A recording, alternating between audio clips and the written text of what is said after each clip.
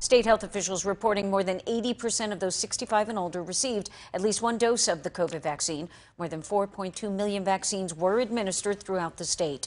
367 new cases in today's daily report, with more than 29,000 people hospitalized.